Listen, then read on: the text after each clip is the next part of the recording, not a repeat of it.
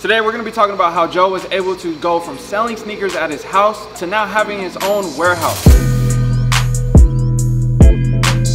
Welcome back to the channel. If you guys did not know by now, my name is DJ and this is the DNA show. If you haven't already, go ahead and hit the subscribe button, smash the like button because that helps the algorithm oh so much. And today we got to talk about this dough. I'm excited to hear your story, bro. So, so talk to me about where it all first started. All right, so Supreme, when I first found out about it, I saw these box logo hoodies hidden for like seven, eight hundred dollars, seeing all these crazy resale prices. So of course that caught my eye. You know? Mm-hmm. Right. The hoodie couldn't be that expensive. There had to be some sort of profit there. So Okay.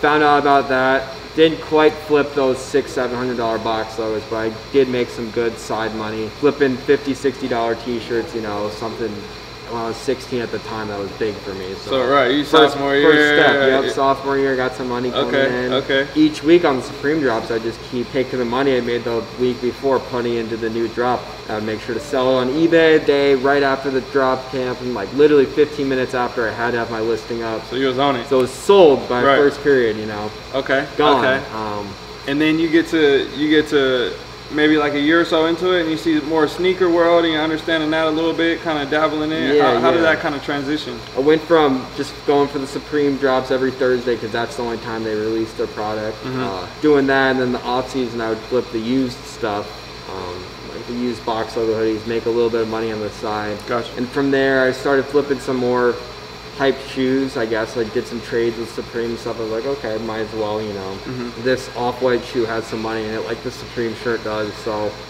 figuring out what has money to it. From there, a few people had wanted to sell stuff to me and found out a couple platforms that was really easy to do. And I was like, okay, I'll give this a shot. Gotcha. Um, and from there, yeah, one turned to 10, 10 turned to 100, and you know how it is after that. Right. When you first started getting those kicks, like you're saying, 110, 10 to 100, all those things, where was it at? Or like, this is my goal, or I need to get to this point to be able to get that first purchase of, you know, 50 pairs of shoes out? Because I remember I bought 87 pairs of shoes for my first boat deal, and I'll never forget that day. Yeah. Because I was like, this was the one. And Yeah. it was like a lot of terrible stuff, and then, but there was some good stuff in there too. Of course. But for me, I was just so happy about that day. So how was it, like, how did you do that to get to that point? So my goal has never really been to like beat someone else or like hit a certain number, but it was really just to like sell more shoes than I did the month before. Right. It's as simple as that, you know. As long as I'm beating my last month and I'm seeing some sort of progress, like that's make a it good, that's a good sign. So Gotcha. my my goal has always been that and yeah, just keep pushing from there. So, so you're selling sneakers for a year or two years, Mm-hmm. and then you ran into the concept of bots and different things like that. So typically, a lot of people would have people go out, camp for 'em, hit up a bunch of homies, try to get the plug, bringing in all these different pairs of shoes to be able to pick up 20 pairs of shoes on a release or something like that. And then it became this new wave, this new era because when I first started, you know, 10 years ago, 15 years ago, it wasn't that option. That was never option. There wasn't online sales. It was a lot of camping out, and there that just wasn't a thing. Yeah. So when you when you ran into that, what were you scared about it? Were you like didn't know who to talk to about it? How did you kind of find where to go? When I first got into bots, um, I joined something called a cook group. uh, Okay. Which is like a group. that's a paid. It's a paid Discord. I was paying someone twenty dollars a month to just like kind of talk about like bots and like familiarize myself with like online buying shoes for retail, Mm-hmm, that kind of stuff. First got into that, and I was just doing Supreme still at the time as well. Okay. So this is kind of in that same that one two year frame. I was still I was doing Supreme stuff um, every Thursday, botting that site, Mm-hmm. getting a few items more than I was able to like buy myself just on the website. So saw that, and then course Supreme only has the three months of selling the product. So after Right. that, I got to figure out something to do. Right, know? right, right.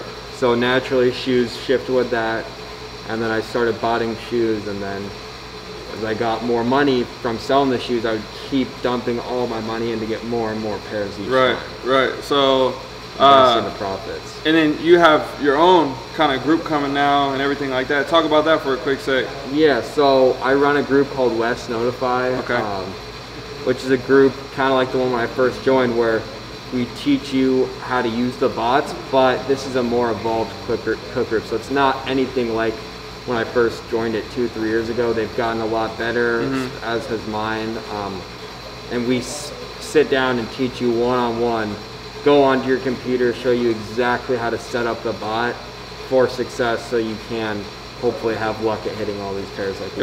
So definitely, if somebody was interested in that, they could get in touch with you, which we'll have a link down below, different things like that. Yup. To try to take that next step into getting into botting and growing. Of course. And doing those type of things. So when it comes to s- scaling your group of people that you're teaching and then scaling your bots to purchase more, is it having the amount of money to just purchase more or is it the advanced bot that you're using or what is it when it comes to that? And then do you have like we only use 100 people we're only going to have 100 people in our team or you know how is it going to grow With bots, yes, a big part of it is capital and the money you have. Okay. Um, it's also definitely be able to use the software to the most advantage. Um, but the way like I sell shoes, I'm more risky, so I'm totally willing to dump literally all of my money into the shoe because I have enough trust Right. that that shoe's gonna flip and it's Right. gonna make me a dollar or Makes something. I'm not gonna go home with an L. Mm-hmm. So I've got that confidence one in the shoe, and then also have like the right bots and the right software because I'm constantly around similar people that do this. So we share ideas, we share what bots are working, and then those people even run their bots on my credit card. So they'll help me get the pairs like that. It's a big Gotcha. team, a big Gotcha. family, and that's kind of what the group is all about. makes sense makes sense you, you have the confidence now right but when you first got into that first bot deal when you first did those first couple transactions or releases what was your mindset? How did you actually feel? Because i know there's a lot of people that are very interested that want to take that first step but they just don't even know what to feel because they've never felt that feeling of like is this a scam? What's going to go on? Like am i going to get my shoe? Like Right, you know? right. so what, what were you thinking in in that moment before that first purchase came through and then after that satisfaction bots kind of have like a negative stigma to them, you know, as it's kind of like a touchy, touche subject Right. of like, is it like illegal or like like what's wrong with it? Um, and really, it's like it's gotten to the point where like only bots can like eat on certain websites. Like there's Right. like there's just no way like a regular person like us could go on our computer and try to buy it because the bots have taken over. So Right. so it's almost like maybe people should just start playing that same game and getting bots as well like yeah, it's because just like it's kind of if you don't join them, you're not gonna be right. Like, there's and it's almost like that new evolution where yeah, it you could potentially step be on that the way. train, right? right. And that's like for me i'm like in that point where it's like i'm not against it i'm not for it i don't know i'm just like it's kind of a I, mystery, I, just that's like what it is. shoes you know what i'm saying? Like i'm yeah, a sneaker I collector like you, sure. i've always been a collector first and then you know obviously i hustled to build my collection to build my net worth all those things but it was essentially for my collection so i'm still in the in between i don't know how i feel about it i can't say it's right i can't say it's wrong all i know is if you're getting your dough and you're hustling and you're doing it right you're doing your thing like i can't be mad at it i can't knock the hustle Yep. at all Yep. so it's been a tough time right now. There's been a lot of stuff going on. People have been getting their packages extremely late. You got issues with like a shoe comes out, it goes to StockX, but then it's like I didn't get my package for two weeks. Were you able to still create success during this crazy time, these past three, four months right now? What were you able to do to still create that success? Fortunately, like shoes are one of like the one business that like really have like thrived more than anything like through COVID. So Yeah. Yeah. a lot of people have because we were in quarantine for a long time. So a lot of Mhm. people have just disposable income. And then checks. And where's that money going to? Right. Unemployment checks, all that kind of stuff is Yeah. flowing through. People aren't used to having this kind of money, so it's going right to shoes. Um, and thankfully for us, like we've stayed afloat and done better than ever, really. Um, So is for there a like short a, bit of time, like the stores are all closed, so everything was releasing on online. So it was even that much easier Right, to buy it right. because like all the stock is online, so it's all for us even more. So. That makes sense. That makes sense. So, Yeah. What is your uh, what is your plan for attack when hopefully everything gets back to normal? Do you think that there will be a slow or maybe a minor decline, and then finding a new way to get money again, or is things just gonna stay like this for a long time? Because a lot of people are saying there's just too much money in the market right now. There's a lot of stuff going on. It's only gonna last for a certain amount of time. Just- the documentary made all these Jordans go up in value. All these different factors. What do you think about that? Because I've been thinking a lot about 2021, 2022. What's gonna happen? my whole look on like the whole sneaker bubble thing is it's like of course, more people are getting it and more people are selling shoes, but like more people are also buying shoes too. So Mhm. it's just as long as they both kind of stay on the same upwards path, like we should be fine. Yeah. Everything's still gonna be money in shoes, and people are still interested in them. As far as I see, I don't see it going away anytime soon. Gotcha. Okay, so you've done all this stuff building this business and this brand and everything around it. Like I said, I'm a collector first, and you're kind of more mindset around the sneakers and the values and flipping and hustling and everything. So when it comes to your actual sneaker collection, where you at? I noticed that a lot of people that have warehouses, different stuff, they're like, all I need is 20 bangers or 30 pairs or whatever. They Yeah. kind of just cap it and it stay there. Yeah, so I guess you could say that to me too. I mean, I, I got like 20, 30 pairs of shoes, like, which is still definitely like a lot more than the regular person has. Right. But I don't have like every single shoe by any means. I Mhm. mean, like, these are like my dailies, runners like that. I got a few cool Jordan ones, some like Tom Sachs, Prestos, that kind of stuff. Okay, so you're doing a lot of like new release stuff.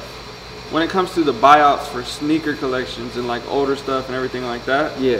is that something you plan on branching more into, or is it just mainly focus on a lot of the newer, hotter stuff? We're just trying to tackle everything. So I'm trying to get as many new releases as I can. I'm trying to buy out as many of this. I'm trying to just put my feet into everything. Like whatever, Okay, whatever we can hustle, like we're we're gonna be there. so you'd rather put something on consignment than take it in and do consignment through your own business? Yeah, yeah. So down the road, who knows where we are, and maybe we'll take in consignment. But for now, like unless you've got like a really special sample shoe or something, there's just doesn't really make sense for Right. consign right now. I get that. I get that.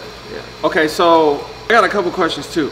What is like the craziest hit that you didn't have like with the bots where you didn't got a bunch of pairs and you're like, how did I do this? This really worked. Yeah, so before Kobe passed, RIP Kobe, I got like just over 200 pairs of the undefeated Kobe's, Oh yeah. which now at the now they're hidden hidden, but at the time, like right after the release, they they were still doing decent numbers, Yep. and like that was really impressive. That was all my own stuff, one bot, That's did it kinda- all, yeah. all shipped.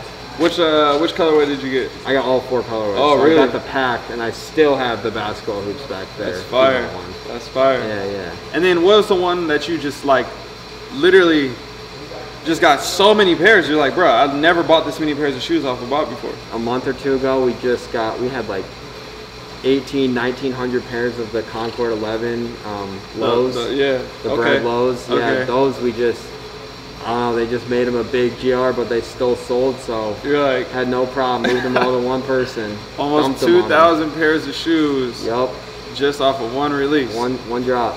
That's crazy. And then you talk about selling to other people. So you're more in selling in the bulk. I say like if you post something on IG, you're like 10 minimum, 100 minimum, whatever Always, it may be. always, It's yeah. always that. So just makes it easier on us because I mean, as you can see, like we got a lot of shoes in here. We can't afford to sell one by one Right, every it's individual lot. client. So for us, like it's always been about like as many pairs as we can sell. So Uh-huh. I, my Instagram tends to cater to just like people who are looking for bulk shoes and like Gotcha. looking to make a dollar on my deal. Gotcha. Gotcha. So if somebody wants to do the same exact thing as you and go out here and cop a bunch of pairs of shoes, do all these same things and learn from you, how much is it going to cost for them to join you, come underneath your wing and learn everything you know and flourish too? So for the group, um, we start at fifty dollars a month. Okay. And that's our West Notify group that teaches you all the bot stuff, one on one with the people who hit. Some people hit more pairs than me in our group, so you're getting taught by literally the best people in the community. So Gotcha. there's no other spot to learn. So it's like a monthly subscription. You Yeah. pay 50 bucks. Yep, we you get teach into you everything, give you free giveaways each month, all Dope. sorts of stuff in there. Tons of stuff. Check out the Instagram, it's got everything you need now. Definitely. Okay. So we'll make sure we have that link down below if you're interested in that. Honestly, that's low key a pretty good deal. Like 50 bucks a month. Not bad. Level to entry, like yourself. You're investing yourself. That's really good, actually. Yeah, that's like one flip and you're good. Like you already made your money back. So I think that's gonna do it. Thank you for having us. If you guys haven't seen the first video, make sure you go check that one out. If you like this one, don't forget to hit the like button. And again, check out all the links down below in the description to get any information or any notification or whatever it is that you may need coming from this side over here. Because I'm telling you right now, They up to something. They up to something real good. Can't tell you where the spot is at, but I can tell you we might be back. We might have to do something up in here again. There's so many shoes coming up in here, in and out, each and every day, every other week, whatever you want to call it. So much stuff. So we got something for you. Thanks for having us. You got any final Thank words? you for having me. Appreciate it. All right, my name is DJ. I'm signing out. I got to go. I'm gone. Peace. There we go. I didn't do the, I didn't do the sign, but.